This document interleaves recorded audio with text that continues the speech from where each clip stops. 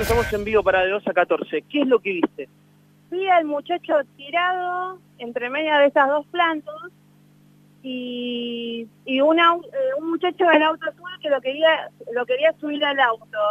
Cuando lo va a subir al auto, el auto no le arranca, lo baja, yo llamo al 107 y ahí empezamos a ver que empieza a brotar sangre de todos lados.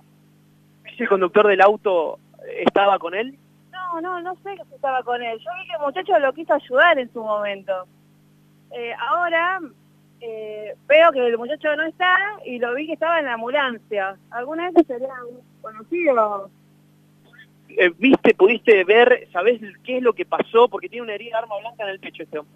Sí, no, no vi nada. Acá hay unas cámaras que hay que pedirlas urgentes. Es, eh, va a ser la única prueba que hay. Ahí, en donde estaba tirado, no se ve sangre, no se ve rastro de nada. Así que no podemos cargar ningún, nin- ninguna... Estaba tirado prácticamente en el ingreso de- del edificio. entre las dos plantas, Dos canteros. los dos canteros.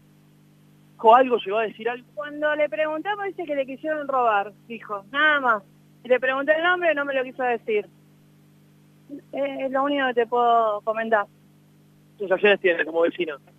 Y me da impotencia porque uno se queda con la duda y, también por la vida de esta persona, aunque uno no sabe qué pasó. Eh, Muy amable, gracias por el testimonio.